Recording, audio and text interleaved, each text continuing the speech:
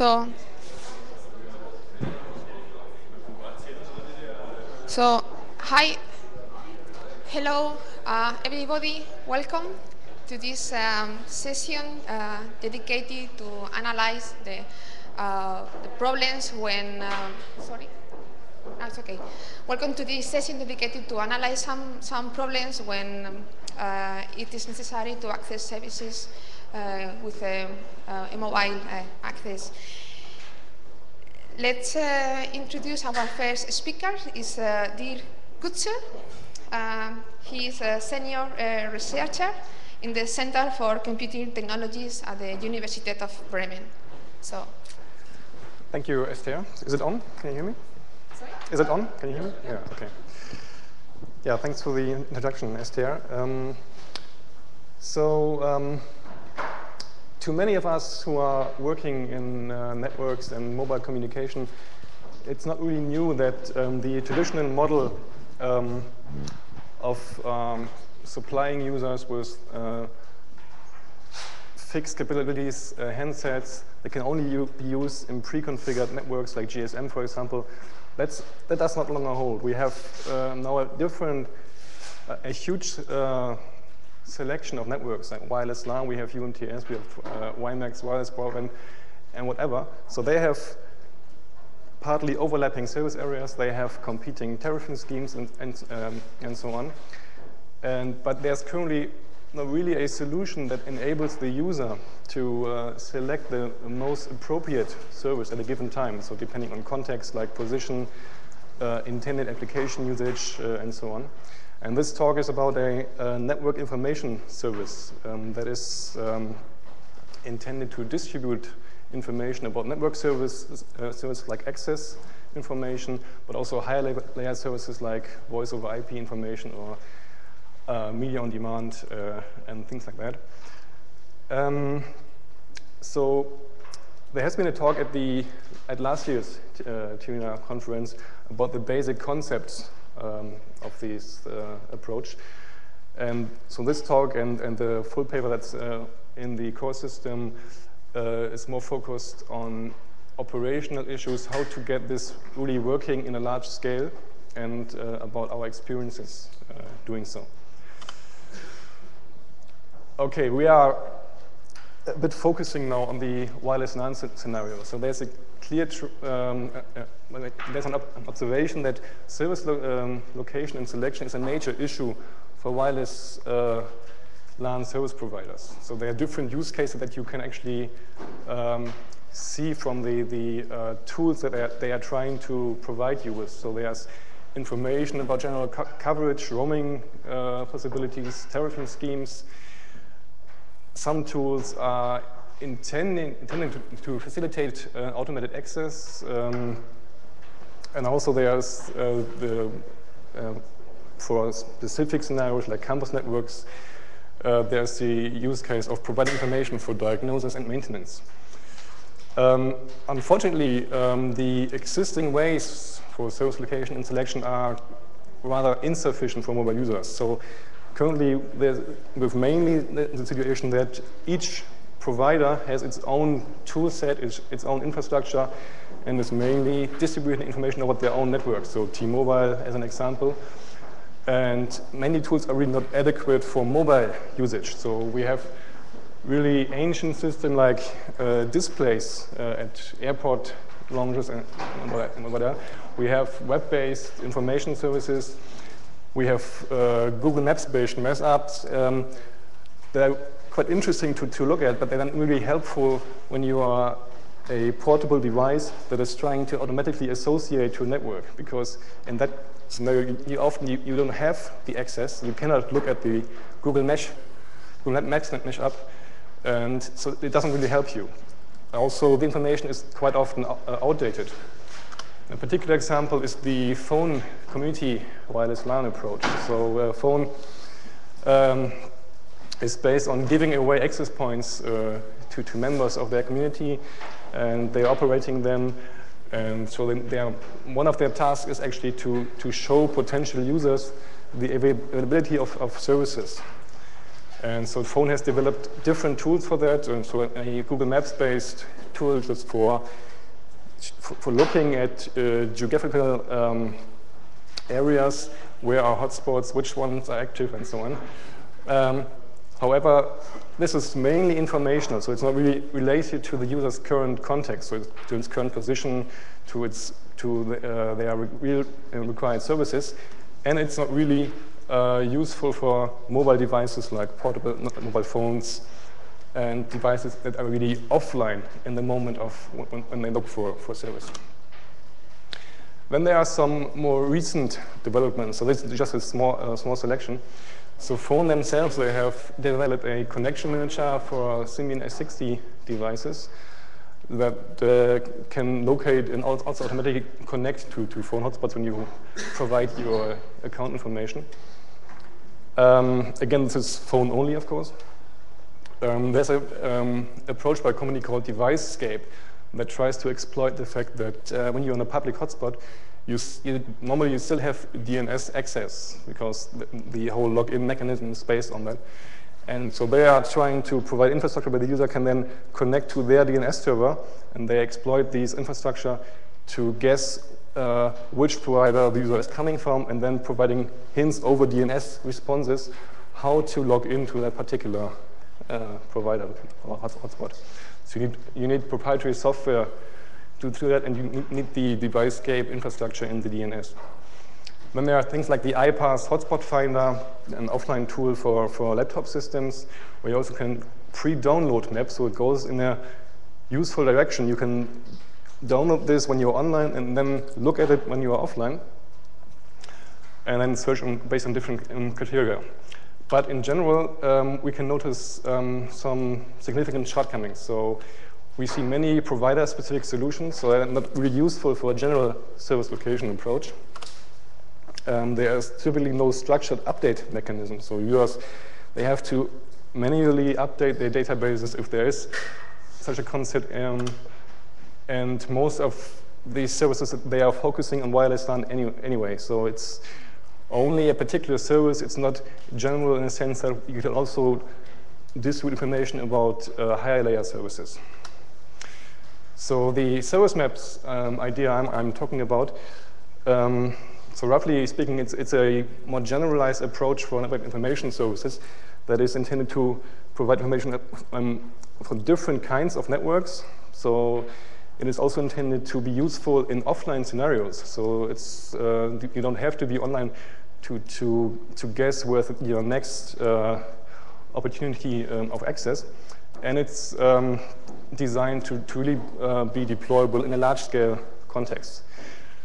Um, so it's based on mobile users, so receivers, um, receiving service map information from different sources, maintaining them on their own, and then using this uh, in the moment when they are looking for a service. So this is um, motivated by the idea that we want to support offline usage because especially when you're looking at mobile wireless LAN usage, you cannot expect the mobile device to be always connected. And also we have a concept that um, uh, there can be uh, local service scope, so there's no common global view of services. So I can have a local hotspot, for example, an airplane that disseminates very specific, only locally interesting sales information for the media on demand system, for example. So um, the service map architecture um, is based on uh, providers like Vodafone, T-Mobile, for example, delivering their service information um, to users. So I can subscribe, if I'm a Vodafone customer, I can subscribe to their information service.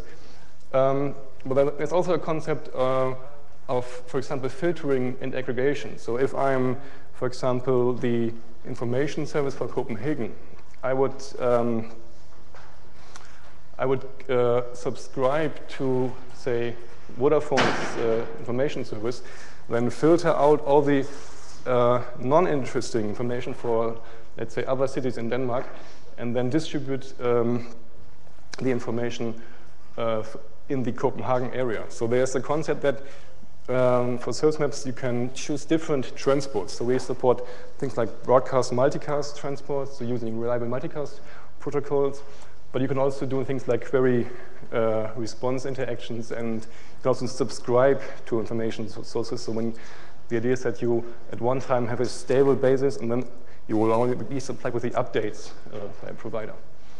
So the normal operation would be that a mobile user, mobile user's device would uh, kind of subscribe to different sources, to the, their um, preferred provider, to their uh, campus network, um, and also potentially, if the device supports that, uh, utilize different network interfaces for that. Um, so in the following, I will talk a bit about some technical approaches, achievements that we uh, have um, also described in the full paper that's uh, in the course system. Um, so we have developed a, a, data model. So the, the service map information is, uh, is XML based, but that's not really useful to be displayed on the slide. So I'm trying to explain it uh, uh, in this structural way.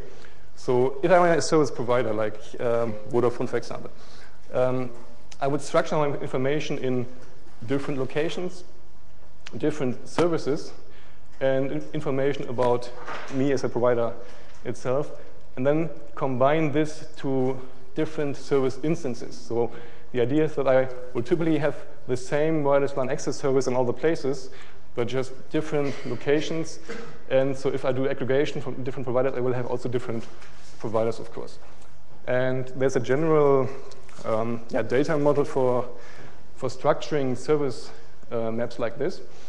And there's a concept of uh, adding application-specific um, extensions. So we call that, that, um, refinements. So that is the extension mechanism we, uh, we're using here. And these refinements, um, they can be, there's a concept that they don't necessarily have to be distributed in the, in the, same delivery context. So they can be externally and they can be referenced in a service map. So if I'm really have a, a, have a constrained bandwidth, uh, I could just transmit the crucial information and then link to the uh, additional information, for example. This is really uh, intended to be efficient in broadcast scenarios, for example, where we have different channels and you would transmit the really uh, crucial information for, for getting access in one channel and then the additional information like tariffing schemes, for example, in a different channel. Um, so I, I, I, mentioned a, a, bit the filtering and aggregation uh, idea that we have here. So um, again, I, I, I can deploy, in, um, I can construct different um, say infrastructures or architectures where provider independent aggregators combine service maps from uh, different providers and the different tools of, of how to do that. So I can kind of um, automatically uh, filter all these service descriptions that match to certain um, tags. So there's a concept that providers can uh, assign free text tags to their descriptions.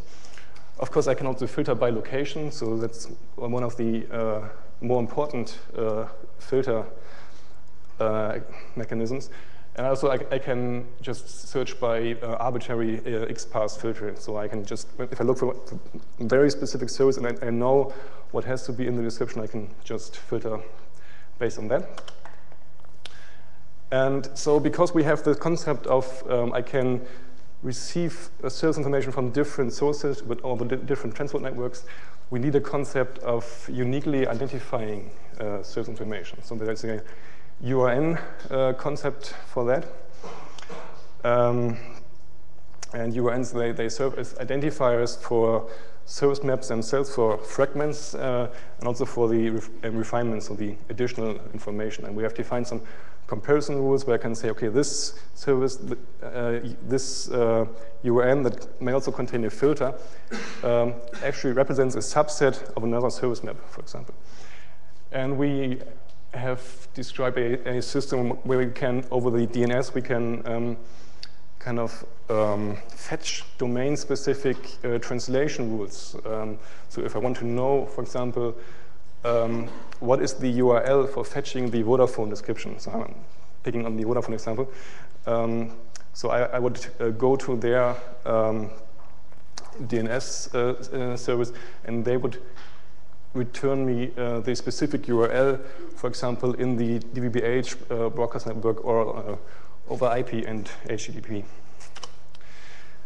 Um, so we have looked at um, how to really get this working um, without um, expecting too many um, fixed configurations. So it's a, um, a bootstrapping approach, approach uh, is intended to identify uh, service map services in, in, an unknown network, in a FON hotspot, for example.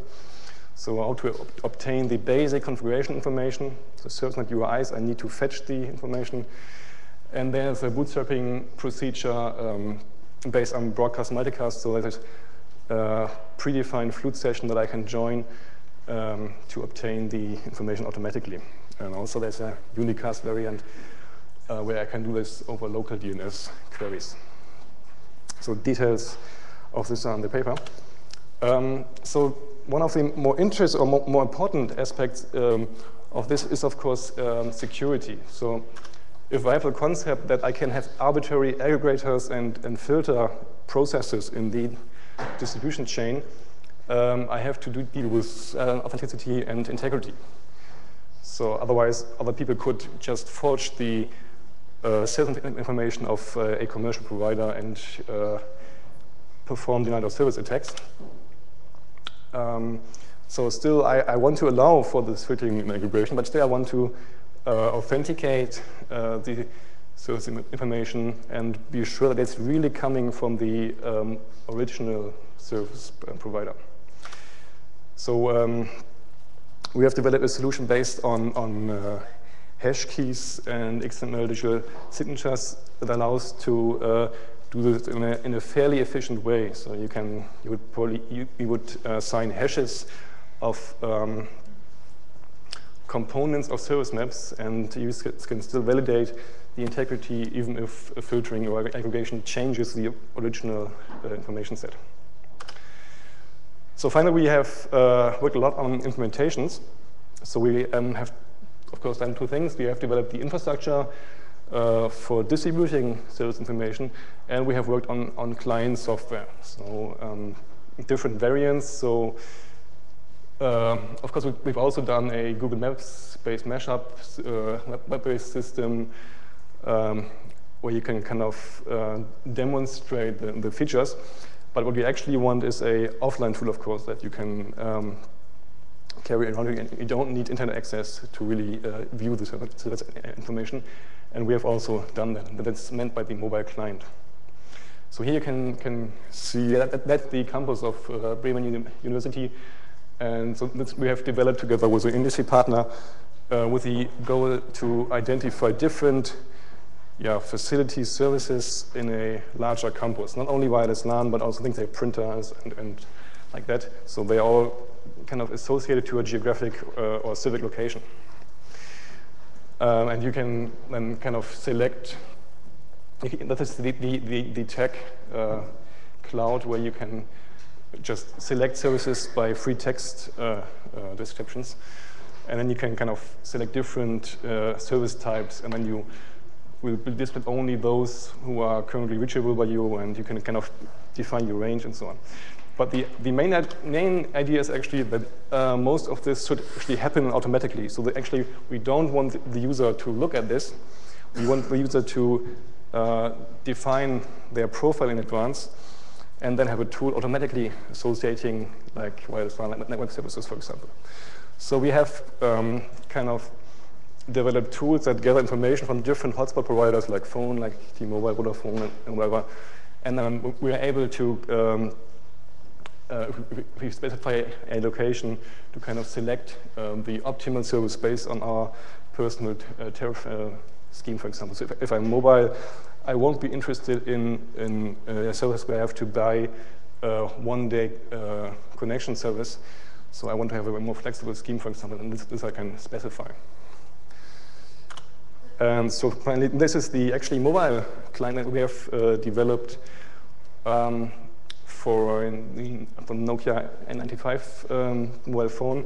So this has GPS, so it knows where it is. It has wireless LAN. It has also 3G interfaces. And um, so basically, this looks like the web-based um, approach, and actually the, the user interface is web-based, but um, all the, um, the software is running locally, so there's no internet access at this moment when I'm browsing the services. So um, with a local application that uh, acts um, as a web server for this web-based application. And um, so the ultimate goal would be that the phone has this software running in the background and then connect automatically to appropriate uh, services. So the issue uh, with, with, that is that the current um, mobile phone software um, platforms are not really um, encouraging you to, do that. So it's, they have their um, limited interfaces, and it's really difficult to, to have a software that um, automatically uh, switches between networks 3G, uh, wireless LAN, and maybe in future LDVBH, for example. So this is uh, the real automatic association with these mobile devices is uh, still a current work item for us.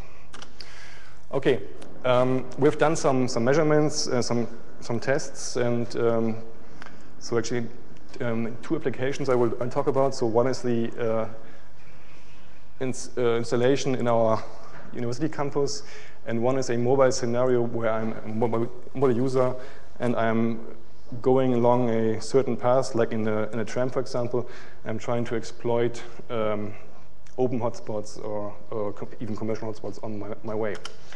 So for the campus and now, we have focused on the uh, multicast distribution of service information. So we have set up all the, the bootstrapping processes and have kind of tried to measure two things. So um, the first thing is, what is the actually um, utilization of the network we are, in, we are uh, introducing by constantly distributing service information. That's what we actually want to do. And um, so how can we kind of uh, play with uh, parameters like uh, forward error correction and sending rates and whatever uh, to achieve a, a low sending rate, so a, a, low utilization of the network, but still a decent um, response time for the, for the client. So that's all described in the paper. And um, so we, have been using Flute, so an IETF multicast protocol for that, and have sent out data about 400 access points and have kind of played with different bandwidths. And so one of the issues with these large campus networks is, of course, that you always have constant, so in, in, in typical configuration, you always have constant broadcast and multicast uh, background traffic. So if you add on that, you, are, you can easily uh, hit the limit. That's often set to one megabit per second. Uh, so we really have to go down with your bandwidth and you really have to um, accommodate uh, packet loss and, and so on. So that's what we have described in, in, in, our paper. So the useful parameters for a typical uh, campus uh, configuration. And then we have played with these. Of course, the last one here is just the query response um, as opposed to the um, broadcast distribution. Of course, this is always faster because I can always um, turn my device on and fetch what I'm looking for. But the idea is that um, if I have many users, it, it's more efficient than, um, to receive it, this over broadcast. And um, so the, the, the conclusion here is that you can really do this and you really don't have to spend much uh, sending rate uh, to achieve useful uh, results here. The mobile scenario, um, I have kind of we've done sim um, different simulations um, for, for mobile wireless LAN usage. So we have a, a different research project that is uh, focusing on really using wireless LAN in difficult mobile scenarios, like in high-speed trains or high-speed cars. And this is, was kind of the motivation for this. And um, here the, the challenge is that I, I know that there are, there are multiple access points uh, in my environment. So normally I would just go by and do sensing and then try to log in, fail to log in, try the next and whatever. And here the idea is that we provide the information about different uh, opportunities in, in, advance, and then I know where I am, and I know um, that I would, would, probably try to avoid this one, but better just focus on the green ones, for example, and, then, and thereby optimize my connectivity. So this is currently at the simulation stage only, but um, we have seen some uh, promising results here. Um, in order to um, really keep the information set uh, updated, we have defined a contribution uh, mechanism. So users um, can walk around with their mobile devices and uh, they can sense uh, information like war driving applications and then they can contribute this information to the uh, service map um, infrastructure. So there's a, there's a, concept of an up upload server that uh, receives this information from different users, does some checks on consistency and uh, freshness uh, and so on, and then feeds this information um, into the service infrastructure by comparing it with the, for example, official uh, T-Mobile Vodafone information. Um, this is especially important because most tools, when you look at them, are really uh, often not up to date. And so especially when you are interested in um, conveying information about open hotspots or community hotspots, uh, this approach helps you um, yeah, to, to generate a, a useful data set uh, essentially effortlessly. So we have developed a software that you can carry around and that would just sense the data and then finally upload it.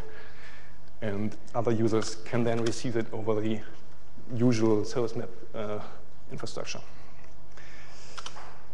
Um, another thing we have recently played with, um, so um, early in the second slide, I showed you a traditional uh, wireless LAN display where, where I have text information about different hotspot providers and so on. Um, so actually, um, if you are in a foreign environment and, you have no other way um, to obtain certain information, um, it can still be useful uh, to go to a display. And some uh, modern phones like the N95 or all Japanese phones, for example, they have a QR code reader and uh, could just uh, read this as a URL and then use this for a local service request uh, in the uh, specific hotspot they are currently in. So um, we are currently thinking of using this for the wireless LAN maintenance at our campus. So there's always the issue that, that maintenance people are running around and they, they don't know actually um, which access point they are currently looking at. So um, this is another application we are currently investigating. So to, um, to associate this information with uh, information sets for different users. So normal users and, for example, maintenance personnel. And so this would then link to the configuration interface for the uh, MRTG traffic uh, stats and, and, and, whatever. And um, this we have we have made this uh, work on the Nokia N95, so it's really a workable solution. One issue, though, um, so when you operate a larger wireless LAN installation, people actually don't want to see that there are access points. So like workers are concerned about uh, radiation and so on, and whatever. And so it's, it's, a crucial issue if you really want to associate a clearly visible sign to each access points. This is currently uh, under investigation.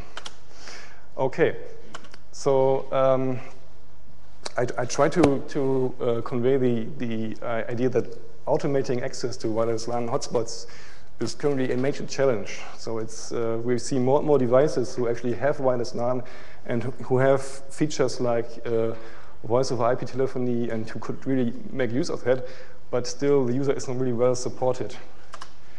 So we have seen first developments that are becoming available, um, but still most of them, they are really provider specific and they're really not targeted at, at mobile users. So it's more or less mainly web-based and uh, especially not uh, provider independent. So network service maps uh, is intended as a general approach, so it's application and provider independent. And um, so what I've not talked about today is the different transport services and so on, as in the previous paper. Um, but I've tried to show you um, how we can accommodate different organizational configurations with the filtering and aggregation approach, for example. And um, so this was the, the focus of the, the paper and, and this presentation. And so uh, we are really hoping um, to, to, leverage community contributions over our contribution interface, um, and uh, you can really participate if you want. So there's a website where you can look at uh, more information and also download some software and try with it. Thank you. Okay, thank you. Thank you. Okay, if you have uh, uh, some questions, any questions to, to Dirk? Yeah. So one question uh, regarding your um, security solution on, based on these hash trees. I mean, the traditional, I'm not really into this, but the traditional approach is uh, that uh, the RSA public key uh, uh, cryptography is computational, more, computationally more expensive, but the hash trees uh, extend the storage uh, on the price of uh, is, pay the price of storage. How much is the overhead you, you introduce by, I mean the storage overhead, the data overhead, by introducing these hash trees? Yeah, that's a, that's a good question. So it's uh, it can be up to up to uh, 30, 40 percent. So it's and that's that, that's an issue. Um, so um, it, it, it, all so so um, so um, when you look at the data model and the security approach. Um, of course, you can uh, achieve huge gains by just applying compression to that. So this is what we are currently doing to make it more efficient. And uh, but yeah, still, if you really want to to provide hard security, you have to do some compromises. That's, there's no other way. And of course, we would be looking at different approaches, but this has currently been the, the most uh, yeah, useful one for us. Thank you. Any more questions? Any more questions? Okay. So thank you. Our uh, thank you. Yes.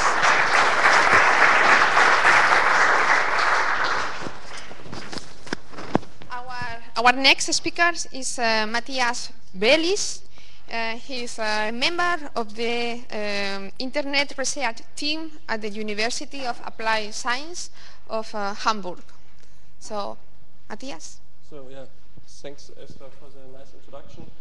Um, I will talk about a uh, mechanism to overcome uh, oops, multicast intradomain, interdomain deployment complexity. And uh, this work is a joint work with Thomas, who is also there. Um, if you keep a short look on the agenda, first of all, I will talk about the problems and potentials of IP layer multicast. After that, I will introduce distributed hash tables, which are a mechanism to construct peer-to-peer -peer overlay networks. And I will also talk to, uh, shortly about uh, overlay multicast itself. And uh, after that, I will um, present our hybrid shared tree architecture. And finally, a conclusion and an outlook is given.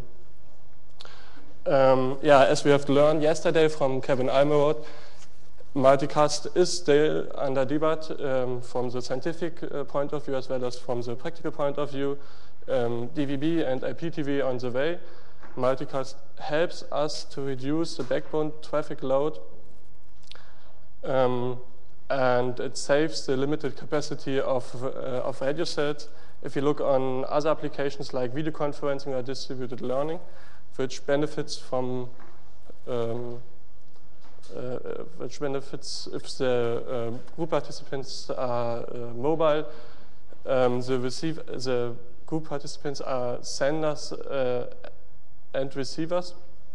And what is here important is that um, that the um, that the devices are lightweight devices, so the transmission cost plays an important role. It is relevant if the, uh, if the sender uh, sends a packet once, once time or n times. Um, yeah, multicast is also uh, also relevant for self-configuration autonomous networks because the multicast group address is um, node independent and loca location independent. So if a node wants uh, um, a service, it just joins to the multicast group, and if the service is on, the uh, service traffic is um, transmitted to the node. Unfortunately, multicast uh, is not really deployed. It's only deployed in, a, uh, in restricted local domains. And uh, why is it so? Why is it so?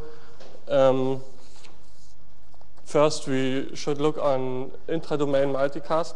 Intradomain multicast means that the traffic is uh, only distributed in a single administrative domain, which makes uh, a lot of things easier. The routing is done by internet uh, edge routers, which uh, have higher off the spare capacities as the internet core routers. And um, yeah, a lot of the some of the scaling problems which are with um, multicast uh, routing protocols are invisible because the number of participants are uh, limited. The advantage, uh, uh um, the deployment of intra-domain multicast also pushed because um, we have uh, a, lot, a lot of layer 2 protocols which implement, um, which supports uh, multicast, like WiMAX or Ethernet. And um, yeah, if you look on the, on the kind of multicast routing protocols, we have dense, dense mode protocols uh, which floods the source announcement, um, but we have also sparse protocols with, uh, which, um, which established um, some anchor points in the infrastructure to, uh, to inform the, the designated routers of the receivers about the source and which uh, distributed the traffic um, to the receivers. So that uh, sounds a bit complicated, but you have to keep in mind that uh, the deployment complexity is, is reduced because um, we are just looking on, uh, on one single domain. There's also a new approach around the so-called bidirectional PIM. Bidirectional uh, pre-established uh, the, the whole multicast uh, shared tree. So um, um, the states are decoupled from the, from the data plane. Uh, if, if there's a source, the whole, the whole shared tree will be established. Nevertheless, if there are, are receivers or not. Um, all of these will be com more complicated if you think about to, um, to, to distribute the, the multicast traffic between different multicast domains, between different ISPs. And um, yeah, that's the so-called interdomain multicast. The problem statement of interdomain multicast um, is that, that, that you have to, uh, to announce the, the, source, the multicast source between, the, between these domains, and you have to establish uh, a distribution tree between uh, these domains. And um, yeah, as we heard yesterday uh, too, there are a lot of objections to, to do this. Um, one of these is um, the intertrans transparently interwoven service models of uh, this unicast. So if you turn on uh, multicast, there's a fear to, uh, to degrade the, the unicast quality. And yeah, there are also some technical objections. Um, uh, first of these is the uncontrolled load on backbone routers. What you have to note is that every, every receivers uh, initiate a state on the, on the router and um, automatically, and that is um, that's not controlled of the um, internet router itself.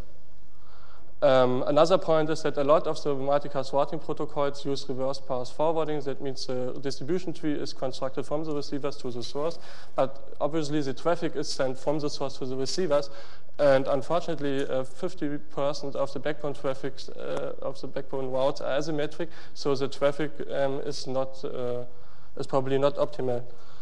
Um, there are some approaches around to, over, to overcome the interdomain multicast problem. One is um, the source-specific multicast. That means that the receiver not only joins a group, but also to a source uh, S. And uh, what you can do then is uh, uh construct the, source-based tree um, automatically and directly from the reverse path forwarding. So you don't need any um, special infrastructure like rendezvous points, or you don't need um, uh, flooding mechanisms because you know the source. Um, and uh, consequently, you have an immediately optimized tree and uh, traffic flow, respectively. The consequences of this is you have uh, enormously reduced deployment complexity, and uh, but unfortunately, there are also some disadvantages. One of these is, uh, is that you cannot aggregate the, the, the, states because the states are so specific. You also lost um, the generality of multicast, as we discussed earlier, um, because you have to know the source address and um, this must be done um, via websites or the session description protocol. So the um, source-specific multicast is uh, not really suitable for is not suitable for self-configuration tasks because the, the, the join is is associated to the source. Um, yeah, there arise some some more problems um, of, in multicast if you are in the context of mobility. Um, every IP layer movements resides in the change of the distribution tree. Um, and we have to distinct uh, two, two sides. The one side is the receiver mobility. If the receiver moves, you have only only to re-establish a branch of the multicast tree, which is possible, but um, which is also a time-consuming time task. Um, the more heavyweight problem is the sender mobility problem, is the sender mobility. Um, first of all, you have to note that, uh, that a lot of applications, every applications that use uh, RTP, for example, um, identify the multicast streams by the source address. And uh, that's the one part. The other part is if you look on the infrastructure, um, you have source-specific trees. Source-specific trees means that the root of the tree is bounded to the uh, uh, to the multicast uh, source address, and this source address has to be topologically correct. So um, the unicast address, the source address of the so uh, the unicast address of the source has a dual meaning. Of, on the one hand, it is um, a logical identifier for the application. On the other hand, it's a topological identifier for the infrastructure. And uh, this is so also called this um, address duality problem. And um, if the source moves, if, if, if, the source address changes, the tree collapses because the root moves, and the uh, reconstruction of the tree, of the whole tree, is, um, is a really, really time-consuming task and uh, absolutely not suitable for retail applications. Um, further on, the receivers have also learned um, the new source address because they have to um, change their source-specific join. Um, this problem is a little bit more relaxed if you look on shared tree because um, the multicast distribution is done via the fixed rendezvous point, but uh, you have to tunnel the packets to the rendezvous point, which is an overhead. Um, yeah solutions that uh, want to overcome these problems should keep in mind that um, the routing protocols um, must should be unchanged and um, that the mobility management should be handled at the internet edge routers. Um, one simple solution is uh, the uh, tunneling via the home agent. That means that the source tunnels all traffic to the um, to the home agent, and the home agent redistributes the uh, traffic to the receivers. So if the source moves, um, the root of the uh, of the tree uh, is fixed because it is the home agent. On the other side, if the if the, if the receivers are the mobile node, um, the home agent joins to the multicast uh, group instead of the receivers and um, gets the multicast traffic and tunnels it to the receivers. So you have you don't have to re-establish branches of the tree.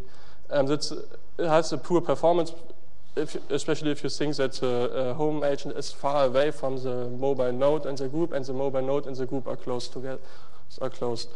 Um, bidirectional PIM um, allows us to, to overcome these problems because it is a self um, uh, mobility agnostic uh, due to the uh, establishment of the um, uh, of the tree of the, of the distribution tree using a, a virtualized rendezvous point.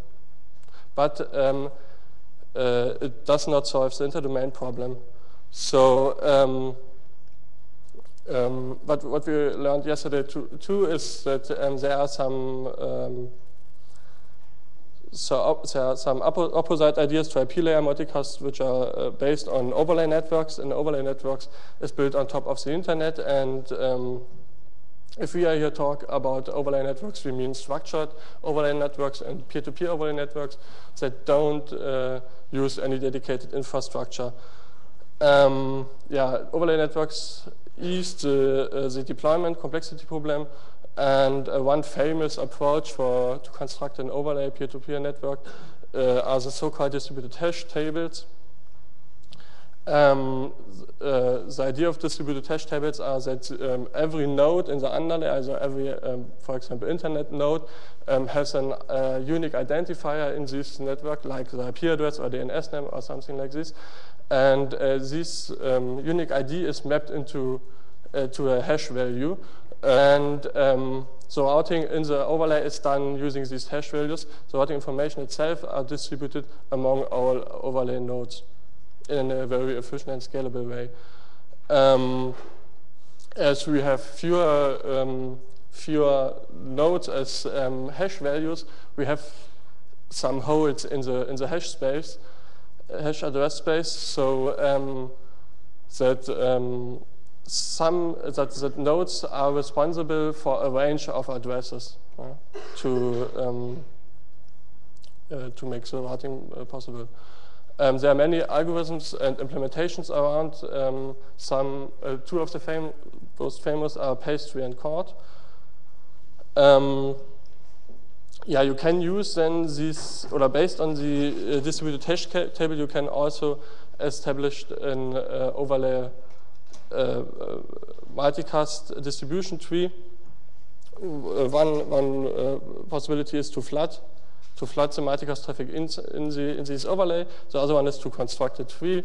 The typical approach here is to uh, hash the group address, and the, uh, this hash value defines the rendezvous point, and the routing inside the overlay is uh, after the after the um, rendezvous point is defined, um, is routing done like in PIMSM.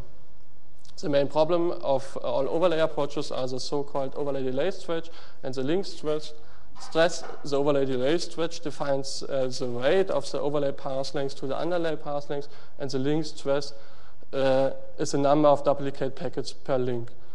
Um, as shown in some experiments, um, uh, you can minimize the, uh, the link, the delay stretch for, uh, for um, DHT, like uh, uh, pastry, for the DHT pastry, to a factor of two. So the, um, the hops you take in a, um, to reach one overlay node um, as a double one as, uh, uh, as if you used um, pure IP layer uh, transmission.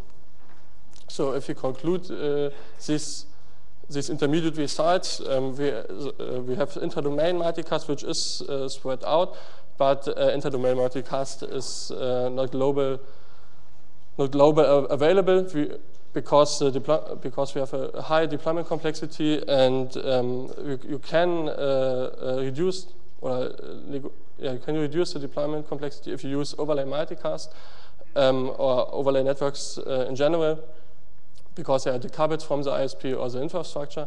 Unfortunately, uh, they are less efficient as, uh, as pure IP layer um, multicast. So um, if, we, if we combine these three sites, why, uh, why we don't uh, use a selective use of overlay multicast? And uh, this, is, this is the idea of our approach. Um, the main idea is uh, that we are leave the uh, intradomain untouched. There is the normal layer 3 layer, uh, uh, layer 2 layer 3 multicast behavior, but um, between these, between, between the multicast domains, we use uh, an overlay, which is built on, which is built with the help of a DHT. So um, the deployment complexity with the scheme is reduced because um, you can deploy it incrementally. Every, uh, every ISP who wants uh, global, global multicast just uh, needs uh, to establish a so-called interdomain multicast gateway. Um, and this internet domain multicast gateway, IMG, uh, we sits between um, the between the um, in, between the multicast domain and um, the uh, the internet backbone. Um, genau. Yeah, and as a as a uh, as a we use pastry because um, pastry uh, has uh, proximity awareness, so the overlay stretch is very low, and it also uses prefix-based routing, which is shown uh, soon. Here's a, um, a, a, picture of the architecture. Oops. Whoop, whoop. Ah, yeah. Okay, here we have this cloud um, represents the multicast domains. And um, uh, besides the multicast domain and the internet backbone, there is uh, uh, IMG. What you have to keep in mind is that the um, IMG is a separate entity. It has not to be run on, uh, on the backbone router itself. And um, the IMGs are connected via an overlay. So independent of the, um, of the backbone routers. Internet backbone routers.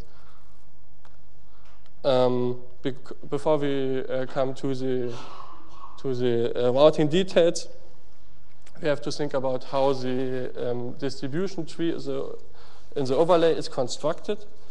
Um, yeah, first of all, every IMG uh, has an overlay address, which is uh, formed by uh, the hash value of the IMG ID in the underlay. Also, uh, for example, the uh, hash value of the IP address of the IMG. Um, every IMG learns uh, about all multicast group members to, um, to realize an instantaneous uh, multicast traffic flow, but uh, the membership updates are communicated incrementally because that means that you only need to inform the other IMGs about the receiver um, uh, if the if the first receiver comes or the last in, in, uh, um, the last receiver guns. Yeah, how is, the, how is the distribution tree constructed? Um, we, uh, we used here for this as a so-called so common prefix tree. A prefix tree is a well-structured tree. Um, uh, in a binary uh, binary alphabet, um, the, uh, the, the tree is constructed as follows. Every left, or um, first uh, one step, one step back, um, every, every inner node in the prefix t is labeled uh, with a prefix. And um, the prefix grows uh, in, uh, in the way to the, to the leaves. And uh, how, how are the labels are um, named? Uh, this is done in a well-structured uh, way. Um, every left child in this example, every left child um, gets, well, every, yeah, every left, every prefix digit of the left child is a 1, and every um, prefix, uh, the next prefix digit of the right child is a 0. So if we have the root, um, the next, uh, the prefix is 1, and for the next child is, is 111 because it is left. And here is the same. And what, and what is here happened too is that um, this is a path compressed tree, so we eliminate one one-way branches. Um, as the um, as the prefixes are aggregated, we have on the, uh, the leaves represents the, the node ID itself. And if you look a bit more in detail, we see that um, there exist some uh, nodes from the, uh, in the path from the leaf to the, uh, to the root, um, which are a prefix of the node uh, of the nodes of the node ID. So um, this uh, this label is OOO star and is a prefix of uh, this node ID. This is the same and so on. So we have, um, we can say that, um, or what, what we say is that, that that all of these nodes are a subgraph, and we call also, which is important for the further steps, we call also um, all immediate all immediate neighbors uh, nodes um, to this subgraph. Um, yeah, we call these neighbors, all immediate nodes connected to this subgraph. Um, and uh, yeah, we use then this uh, constructed tree, which is only based on, on the receiver uh, IDs as a bidirectional shared tree. How is the routing done? Um, first of all, uh, if, if a source packet comes uh, to the IMG, this, the IMG has to determine its position uh, inside the prefix tree. So um, in this case, here's the source. Um, it knows, okay, my, my overlay is uh, three O's and three ones. So I'm here, and all of these nodes um, to the uh, to the root um, shares shares a prefix with me. Um, after after the, the the source IMG knows its position in the tree, um, the uh, routing algorithm says just forward um, the multicast traffic uh, uh, downwards to all to all neighbors. In this case, um, this is a neighbor for this uh, source and this one, and um, for uh, uh, for for this receiver there exist it, or, yeah this receiver is also a neighbor. So it sends. Um, it would send uh, in the distribution tree the, the packet to the, to, to, the, um, to the prefixes. And the question is now how the um, prefixes are resolved. For that, um, the um, IMG looks up the prefix in the uh, DHT routing table and um, can transmit the multicast packet um, to the underlay uh, to the underlay node. Whoops. Okay, what happens with the intermediate um, forwarders, with intermediate vertices? Um, as the tree is a recursive structure, it, uh, it works as, as a source, similar to the source. Um, first of all, it has also to know its position in the tree. Um, as uh, we have uh, many, many overlay nodes for, for, for one prefix, um, it cannot um,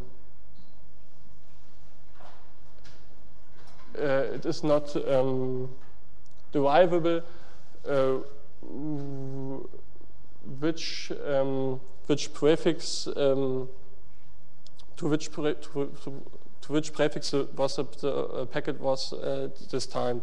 So we have um, to carry uh, the, the destination prefix in the, uh, in the packet. And if the packet arrived at the overlay node, whoop, from here to here, um, the, the, um, the overlay node knows its position in the distribution tree, and the routing algorithm says um, forward is downward to the next um, branching point, which in this example, this one and this one for this overlay node. And um, as um, as there um, some as it is possible that the um, prefix uh, not lies in the address range of the uh, of the overlay node. Um, it has to check if the prefix uh, destination prefix is associated with it, and if it is not so, um, it has not to, con to, consider the distribution tree. It just forwards it to the next overlay node, um, with the, with the uh, as a destination address, the destination prefix.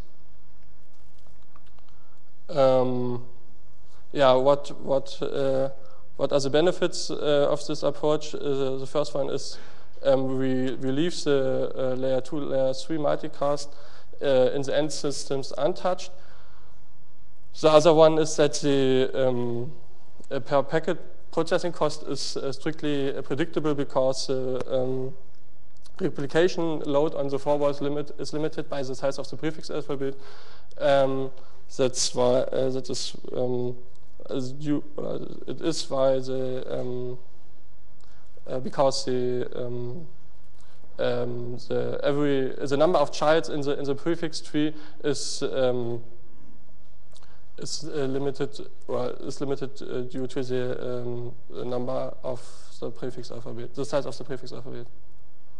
Yeah, we have also no dedicated overlay nodes, so we avoid bottlenecks and uh, single points of failure. And in combination with um, bidirectional PIM, we have a mobility agnostic routing framework because the, um, uh, the forwarding state and the, the, group and state management is uh, as in bidirectional PIM in the hybrid shared tree architecture um, decoupled from the forwarding plane. Um, yeah, some conclusions. Um, uh, yeah, we have discussed some uh, potentials and pitfalls of multicast. We have also introduced the um, hybrid architecture, uh, which interconnects multicast domains and um, reduced uh, the um, multicast deployment complexity. In the future, we will optimize the um, algorithms, the algorithm, and also the, we want to improve the storage of the um, prefix tree. Yeah, and the analysis will be done in an analytic simulated way, but also in real-world experiments um, using the PlanetLab platform. So thanks for your attention.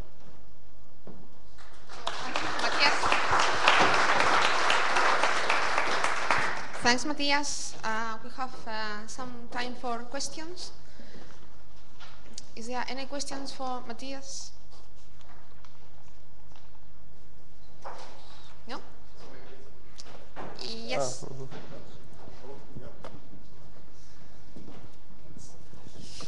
Yeah, one question. One question. Um, so I assume that a, a, IMG would typically be located in uh, ISP's connection to the backbone. So yeah. Appearing yeah, it, it's a IMG must um, sit between the um, uh, multicast domain and the internet backbone. Right. It only need. Okay, so um, one of the issues with uh, IP multicast deployment has historically been that it's difficult to really charge for used resources like bandwidth, router capacities, and, and so on. Yeah.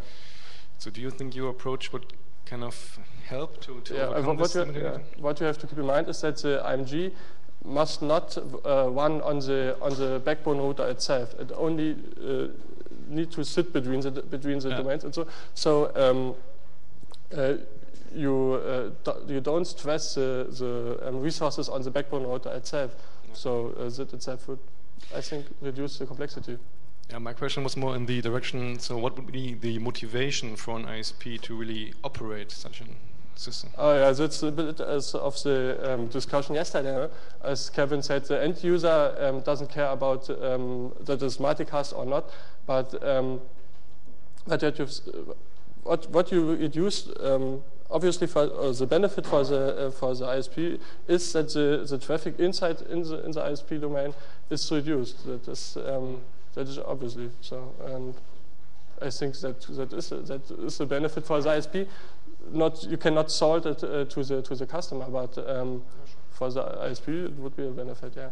Okay. Cool. Thanks.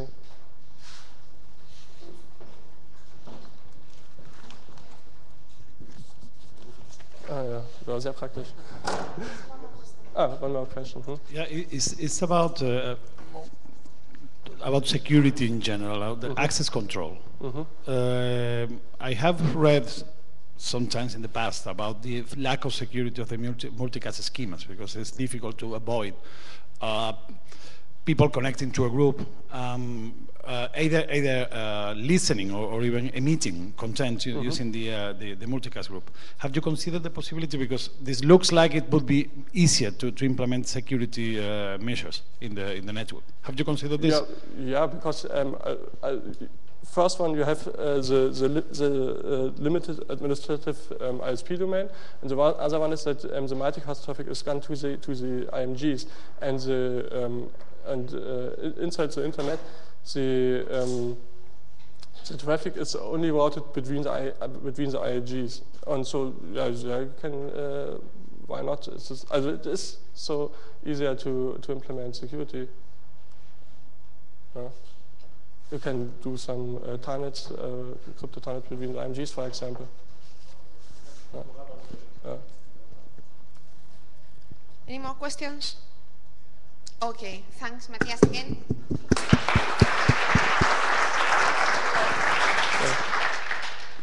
Our next speaker is uh, Josh Howlett. He's uh, working in Ukerna. He's the technical uh, lead of the Ukerna's middleware program. So, Sorry. This way.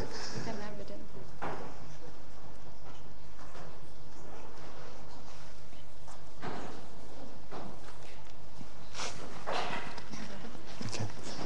Thank you. Uh, can everyone hear me okay? Good. Um, thank you, Esther. Um, I'm um, here to talk about um, why Eduroam sucks and how to fix it. Um, actually, this isn't true. I'm not going to talk about that at all. Um, because it's quite simple, Eduroam doesn't suck. This is your first warning that this is not going to be a particularly conventional talk. In fact, Eduroam rocks. Eduroam, I'm convinced, is one of the best ideas in academic networking for several, well, for a long time. Um, I think it's very useful to think how far we have come in changing network service delivery um, the last six or seven years. Six or seven years ago, people were still running around patching in cables every time a user came onto the network or needed changing to a different network. Four or five years ago, we started using SNMP and perhaps proprietary protocols like Cisco's uh, VMPS and VTP. With Eduroam, we're really pushing forwards um, the, uh, the, uh, the, uh, the delivery of these services to the network. It's forcing institutions to think um, about delivering services in a much more dynamic way depending on who the user is and what their requirements of the network is. Hundreds of institutions, I think, would agree with me because there are hundreds of institutions participating in EduRoam and 26 NRENs. And as I said, it's really revolutionizing the way that we think about doing network service delivery. The network is changing from what was a very static, um, pretty unchanging cables and switches and now we're thinking about pushing VLANs all over the place depending on who the user is, perhaps updating packet filters depending on who the user is, what sort of services they have um, rights to get to. So you might at this point be thinking, well, what on earth is this guy going to be talking about?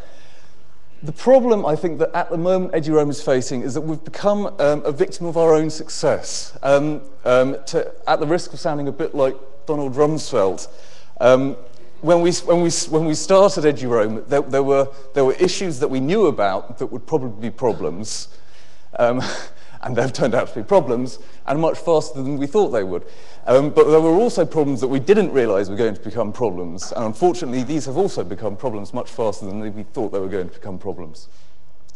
So what I want to do is explain what these problems are and try and dispel some of the myths, because when people start hearing about problems with anything, um, they immediately think that, oh, something's got a problem, therefore it's dead. Um, and there are some challenges with Eduroam, and I want to just explain what these are um, and um, how these are being addressed by the communities that are building Eduroam, specifically uh, the TERENA TF Mobility um, uh, group and the uh, JRA5, uh, the JRA5 group. Uh, I should mention, what I'm trying to do here is not evangelize. I'm sure everyone here is set in an Eduroam evangelism um, talk. Um, I'm not here to evangelize, I'm trying to present a consensus um, view. Um, this, um, some of you may be familiar with this. This is something produced by Gartner for um, IT managers with big wallets and small brains. It's to try and explain to managers in a, they, how technologies change. So uh, a new technology comes along, and there's a lot of excitement about it. People get very excited, and you have the, the peak of ex uh, uh, inflated expectations that you know, this technology is going to change the world. And then, of course, it starts getting widely deployed, and people discover problems with it, and then everyone becomes very disillusioned with the technology. And then gradually these problems get, get fixed, and, and, and it just becomes part of, part of ordinary day. It just becomes part of the furniture, as we say in England. Um, and at the moment, Ed, Eduroam is, I think, with, with the last year or two was probably the peak of ex inflated expectations, and we're rapidly uh, dropping into the trough of disillusionment as we discover this is turning out to be a lot more difficult than we thought it was going to be. Um, there are three reasons for this. First is that because Eduroam depends on some rather poorly implemented technologies. Um, this isn't our fault. If vendors provide us with technologies that they say work and they don't work as they should, um, then this is difficult.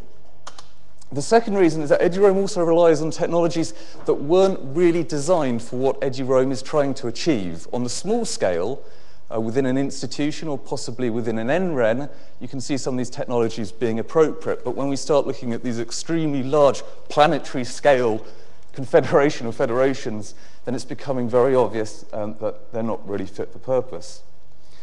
And finally, writing good policy is really, really very hard. The technology is the easy side of this. Writing policy is extremely difficult.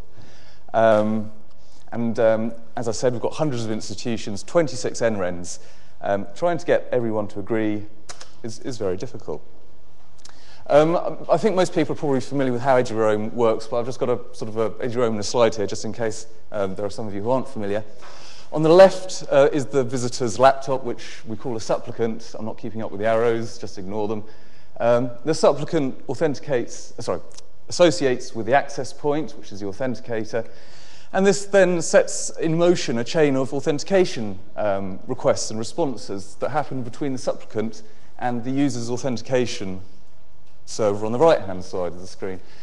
And these, uh, these authentication requests and responses are passed along a chain of Radius proxy servers.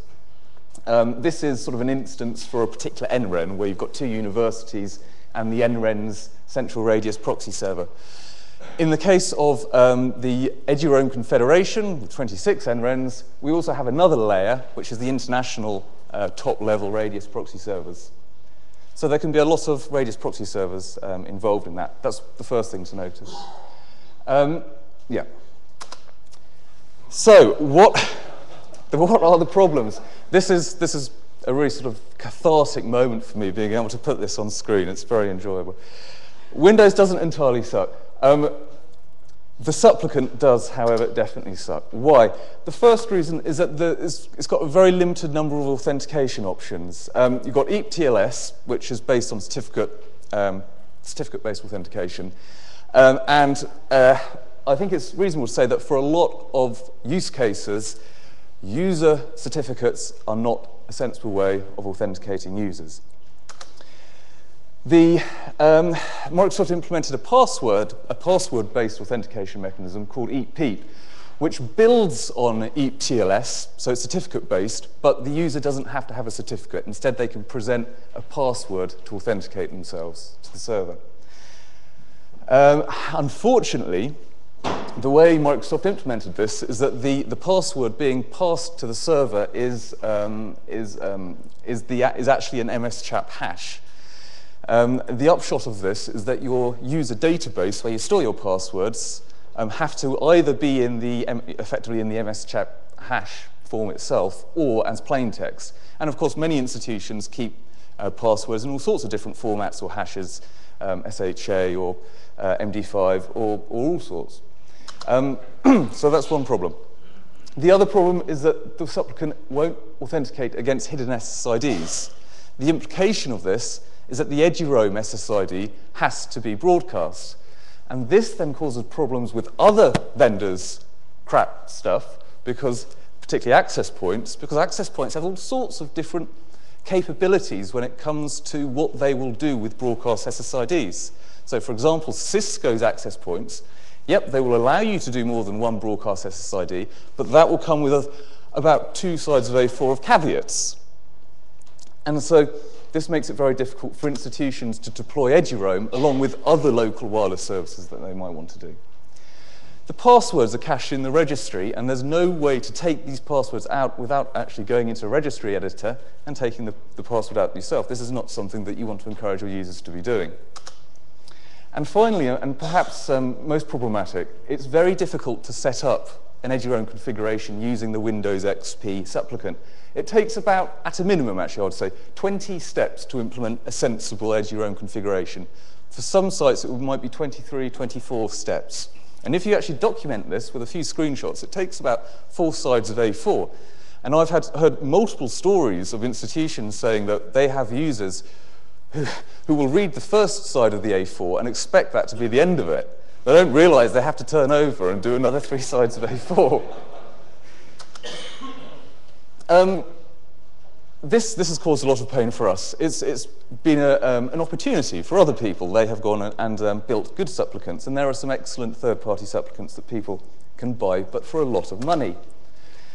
There are some open source supplicants um, that obviously don't have this cost implication. The first, and this is, this is the, the best known one, and is widely deployed at present uh, within um, our community, is SecureW2, which is a, a plugin that effectively it, it, goes and sits on top of the Windows supplicant, um, but it, it gets rid of the password caching problem, which is good. And it also supports this authentication method called TTLS, which does allow you to authenticate against a much wider variety of, of backends, of, of uh, directories, for example. It addresses some of the problems, but not, not all. SecureW2 is a little bit rough around the edges. Much more recently, um, there is a new project um, called Open1x. This actually only started, well, this was only publicized last week. So this, this is, this is um, brand new news. It's a port of Xsupplicant, which some of you may be familiar with. It's, it's from uh, the Linux world, um, to Windows. And, and, it's being managed by um, an alliance of vendors. Uh, I've listed them there, and Ukerna. And we're hoping to contribute um, effectively um, the academic community's requirements to this supplicant so that um, we can hopefully end up with something that everyone can use. Um, that's the aim. PKI. Hmm. Um, PKI has its uses. I'm not disputing that. But for wireless authentication, it can cause problems. At the moment, because EAP wasn't designed, EAP, which is this wireless authentication protocol, it wasn't really, it wasn't designed with security in mind. And, and um, when people realized the problems of this, they thought, oh, it's easy, we'll just wrap TLS around it because TLS is really secure. But the problem is that once you bring TLS in, people then think, um, well, with TLS, you know, we, we normally use certificates for authentication. And no one understands PKI, least of all users. I don't think any users understand PKI. I know plenty of institutions within the UK, sorry, ed, sorry administra administrators of Radius servers in the UK don't understand PKI. So deploying this has caused a lot of support headaches. Certificates are also routed um, in Windows to, to um, certificate authorities that obviously cost a lot of money as well. Also very problematic is that the certificate-based, that the certificate-based TLS handshake, the four-way handshake, is very verbose. You will perhaps pass uh, five to 10 kilobytes, perhaps, of information during the handshake. Uh, if you're going to visit a website, this isn't a problem. It just means the website takes another half second or so to load. It's not really a problem in that sort of instance. For network-based authentication, we, we, are worried about latencies of 10 to 20 milliseconds because if you get latencies longer than that, then time-sensitive applications such as voice over IP start to break. So um, with these very verbose authentications, it's slow, as I said, and also fragile over lossy networks. And it should come as no surprise to any of us that wireless networks are very lossy. So, how are we trying to fix it? Well, thankfully, we now have the TERENA Server Certificate Service, uh, which is a superb initiative from TERENA, and it's been taken up very widely in the UK. We started it back in November, and in the six months since November, we've, I think, issued 400 certificates to our institutions. It's extremely popular. There are also, coming out, coming through the, the IETF process, um, there are also two um, strong EAP methods that don't use PKI. The first of these is EAP TLS PSK, which does use TLS, but it doesn't require certificates as credentials. Instead, it can use a pre-shared secret. EAP uh, GPSK, which stands for Generalized Pre-Shared Secret, is another strong password-based authentication system. The advantage, although the first of these, EAP TLS, it will still be a little bit verbose, much, well, more verbose than EAP GPSK, they will still be significantly less verbose and much more reliable than using certificate-based authentication. Another obvious way to try and improve this is to actually try and use something other than um, an unreliable transport. Radius sits on top of UDP, which is unreliable. Um, so perhaps we should consider using a reliable transport. Which brings me on to Radius. Radius, Radius is actually one of my favorite protocols. It was difficult for me to write that slide. Um, but it turns out that eduroam is actually pushing the capabilities um, uh, sorry, eduroam is pushing the capabilities of Radius. Radius was really designed for use within a single administrative domain, and it does, have some extensions for allowing you to proxy um, authentication requests between administrative domains, which is what eduroam does. But eduroam has taken that to the, the furthest sort of logical extent of, uh, that, that, one can do. Um, so, for example, the routing of the radius packets. So, so I'm, i send them, I give my credentials as, as Josh at ukerna.ac.uk. That ukerna.ac.uk is bound to the DNS, and the, the radius routing hierarchy follows the DNS. And this then causes problems with people from institutions or organisations that are .orgs, .edus, .nets, or any sort of .tld that we don't really have any control over. And uh, as an example of that, Ukerna is rebranding itself, and as of next month, I'm going to have a problem because we're going to be ja.net. I'm not quite sure what to do. I touched on this earlier, hierarchical routing is very fragile and very slow. I've done some testing here while I've been here using EAP-PEAP, which is the standard Windows authentication protocol. It takes about 10 to 15 round trips depending on how many packets get dropped. It's about a 250 millisecond round trip time, but 250 milliseconds is a quarter of a second. Doesn't sound like very much, but they add up. Um, and it can take as long as four seconds, assuming that you don't drop a single packet over the wireless network and over the UDP connection all the way back home. Um, and as it turns out, I'm sort of seeing about a 2 to 5% packet loss from here all the way back to Ukerna, which means that perhaps one in four connection or so, every time I try and, sorry, one in four connections is failing. Um, it's not failing, but a packet is being dropped. And because Radius doesn't define what to do really about retransmissions, it just leaves it up to the administrator to configure timeouts and things. And the default sort of timeouts are about three to five seconds. This means that your, um, your authentication attempt might take up to 10 seconds. And this is probably what some of you may, may have noticed that some authentication um, some of your authentications are taking a long time. And this isn't a reflection of the fact that the wireless network here is bad. It's a very good wireless network. It's just a reflection of the fact that getting the authentication message from here all the way um, to the UK using Radius is just not the best way to do it.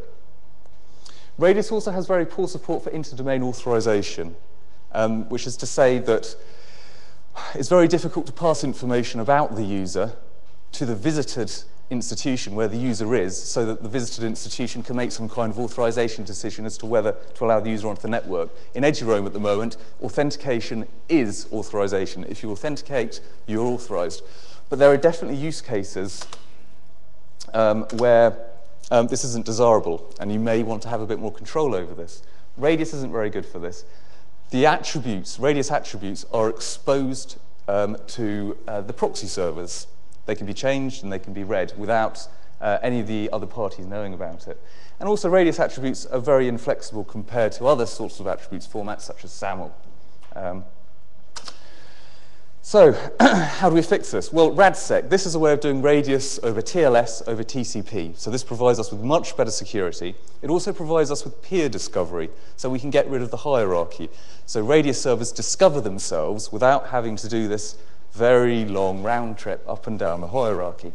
Unfortunately, it's unlikely to gain traction in the IETF because the IETF is very busy trying to push diameter, which is the successor to radius. The type of functionality that diameter will provide is roughly similar to RADSEC, but the problem is that there's only one commercial implementation and it's very expensive. So, happily, whichever one we decide to go for, we're not sure yet which is the best approach, we probably need some of the same infrastructure components. So for example, we're probably going to need a public key infrastructure to allow uh, radius servers, when they're operating in this peer-to-peer -peer mode, to be able to authorize each other to, uh, and authenticate each other.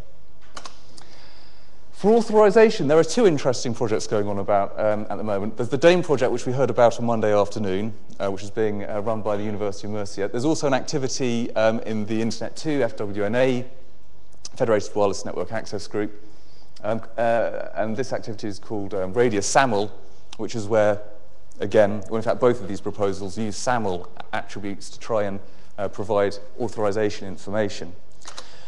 Um, sometimes I think that perhaps we're trying to be a bit too clever, and for the use cases that we've identified, perhaps we could just, you know, um, cross our fingers and just use radius attributes and hope for the best. Maybe. Policy.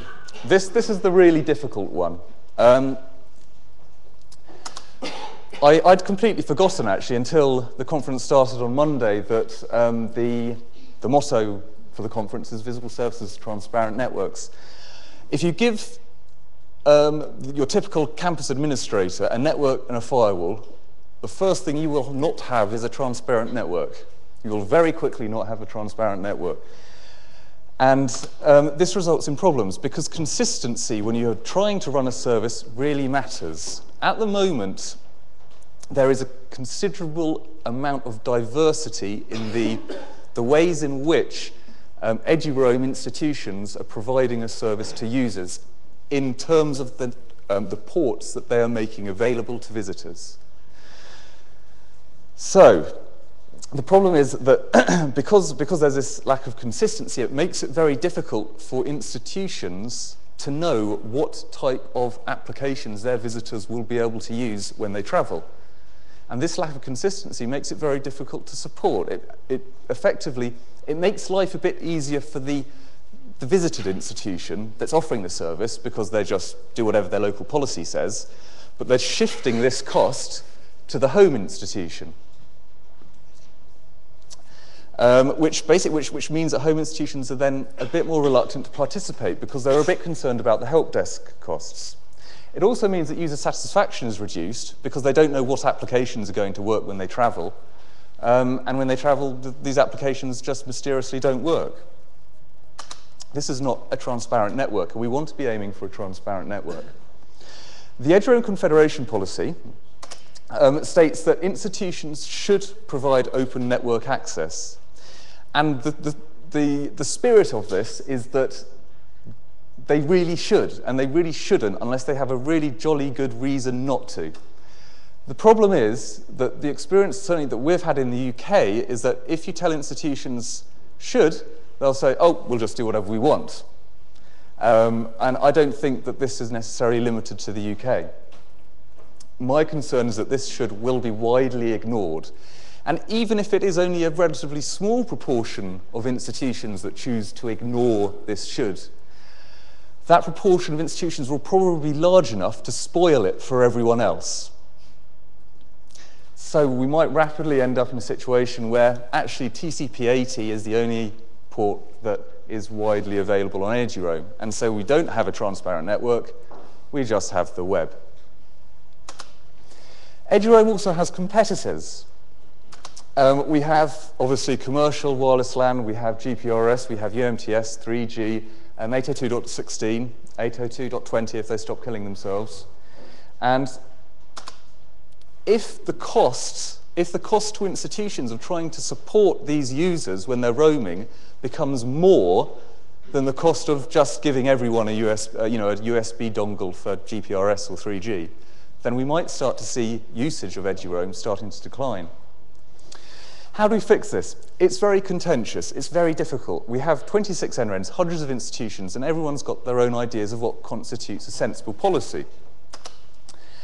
Um, in particular, it's not clear where the policy, where these sorts of policy aspects should lie. Should it be at the institutional level? Should it be at the NREN? Or should it be at the confederation level? I think it's got to be split somehow between them all, but it's not really necessary. I don't, we haven't it's not necessarily clear what the balance is. And I think there's a good argument that perhaps we need a bit more experience, see what happens, and then change the policy if required. Personally, I carry about a GPRS and UMTS dongle. It's very convenient. Um, I go to institutions in the UK and they have some have EduRoam, but many don't. And if I'm on the train or at an airport, then obviously there's no, there's no EduRoam. Um, so I think we also have to be thinking about living in a world where we, we just have to anticipate that users are going to be moving between these sorts of networks and we have to make it easy for them. Also, do we also need to think about adding further value to the network? Um, when, we were thinking, when we're thinking about um, EduRoam at the moment, it's generally in terms of just providing them with a sort of a wireless ISP experience. So they just go to the internet for their access to resources. But when, when you have visitors, they often want access to sort of local network resources like printers, like file store. um, local, uh, local applications for uh, library catalogues and, and things like this? Do we need to think about adding more value to make EduRoam more attractive than the commercial options? So, um, in conclusion, um, most institutions can deploy EduRoam without any problems today. This wasn't meant to scare any, anyone, this talk. It was, I'm trying to elucidate what the problems are um, and how we're going to fix them. However, for most institutions, you don't have to worry about them. There are technology issues for some institutions. Um, for example, for those institutions that are having difficulty with the Windows XP supplicant, but we're very close to fixing these, for example, with SecureW2 and hopefully with the Open1X project. There are definitely significant scaling issues ahead. Um, these and these will probably be fixed in the medium term. It's, they're unlikely to be fixed in the short term. RADSEC is looking very promising, and already there is some very, uh, there, we're getting good results from, from, um, from RADSEC at the moment. So although there are these scaling issues, it's certainly not an excuse not to join. Also, it's possible that the Confederation policy might need some adjustments in the light of experience. What we are doing is very novel, and I would not be surprised if we have to make some changes, but hopefully nothing significant. And finally, and this is sort of an open question, I'm kind of interested, do we need to think about adding more value to, Edu, eh, to EduRoam other than it just being a wireless ISP type service? Do we need to think about um, other types of services that, that we can run over the top of EduRoam? Thank you.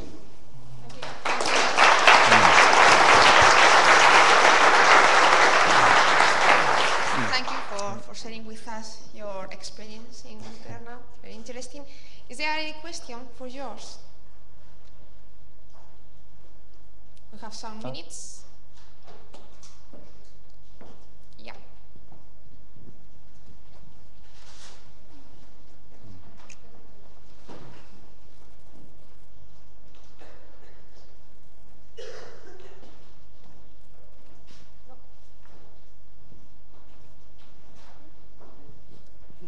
Stefan Winter from uh, RESTENA, Luxembourg.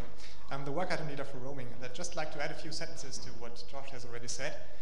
Um, one of the important points Josh mentioned very in the very beginning, uh, we are really pushing things with EduRoam. We are going to kind of frontier, and a lot of people have to rethink what they are doing in their networks. Uh, namely, institutions have to completely rethink how they authenticate visitors, and uh, maybe even entire countries have to rethink their visitor handling. Um, there are habits that have grown in the last years, like for example using Web Redirect. And uh, people are used to this, it's easy to use, um, but there are some gaping security holes. And um, these are problems, well, security always comes as a, second step. And um, we fear that um, we have to actually go into people's minds, in admins' minds, and tell them what the problems with their solutions are before they actually see uh, the benefits of EduRoam.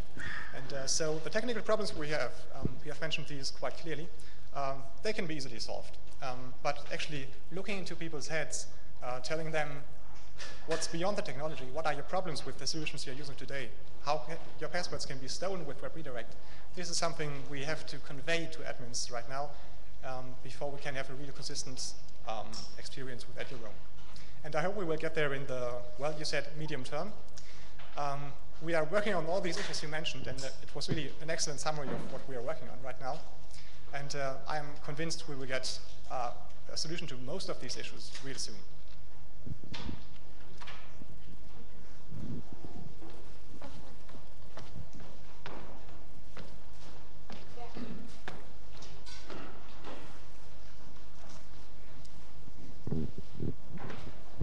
About this radius competitor diameter, do you think it will be very difficult to, to write an open source implementation. It's a very difficult protocol. No, I don't think so. Diameter is, is it's a more complex protocol than radius, but um, it's not a difficult protocol. There is an open, there is an open implementation that um, provides some aspects. There's something called open diameter. Um, and as far as I'm aware, in fact, the, the folks from the University of Murcia, I don't know if there are any here, can probably say more about open diameter than I can. Um, is there anyone from University of Murcia here who can? They have left. Today. Oh, that's a pity. Um, but yes, there's op open diameter. But this isn't a complete server implementation. As far as I'm aware, it's just an implementation of some APIs for doing. So, so you could, in principle, I think, build a diameter server using Open Diameter, but it's not actually a server itself. I think that's correct, but you might want to check their website. Thank you.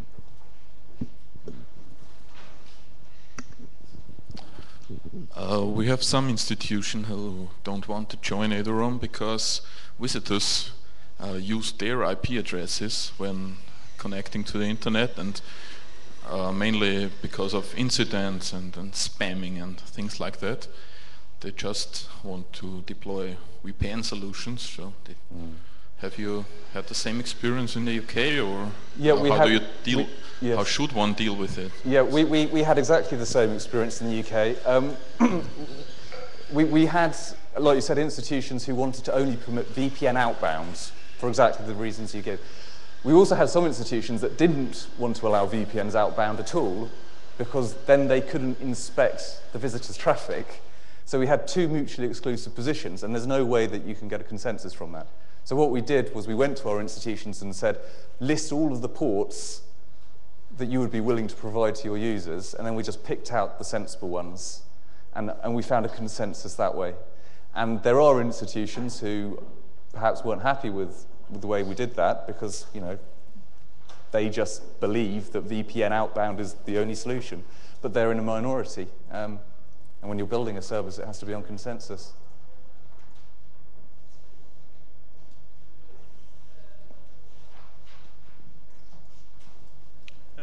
Klaas Wierenga, SurfNet. Um, first of all, thank you for your uh, kind words. You earned uh, a beer, uh, I guess. Um, Can you afford it? it's very expensive here. well, I'm not saying here. Eh? um, I wanted to make uh, two comments. Um, one about the diameter uh, uh, question. Um, I also agree that diameter in itself is not uh, that complicated. The thing, however, is that the, the problems they are solving with diameter um, are now more and more moving towards the, the commercial space, mainly the mobile operators. Uh, diameter is just much better at dealing with uh, billing uh, and accounting. Um, the other problems that existed in Radius are pretty much solved by the meshes you just presented. So uh, in our environment, I don't see an immediate need to move to diameter. Um, the other thing was about the IP addresses. Uh, we see the same in, in the Netherlands, and what we basically just do is we offer both options. We tell them either you can get IP address space from us, um, or you can use uh, your own address space. And that it varies from institution to institution what they prefer. The, the disadvantage of using SurfNet's IP address space is that then they have to make sure that they route all these uh, IP subnets through their whole infrastructure and in some cases that's also quite a difficult task. Mm. Okay,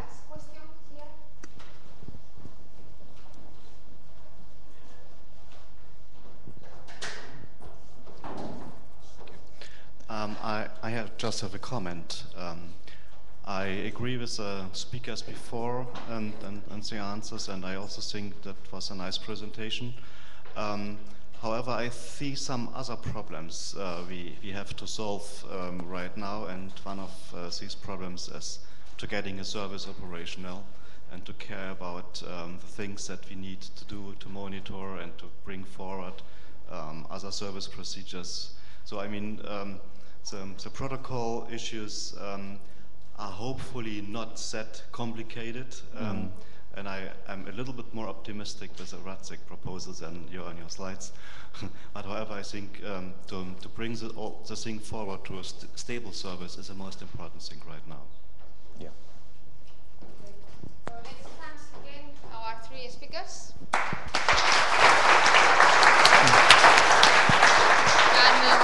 Please uh, don't forget to fill the evaluation form. We, we really appreciate uh, your input. And have lunch, nice lunch.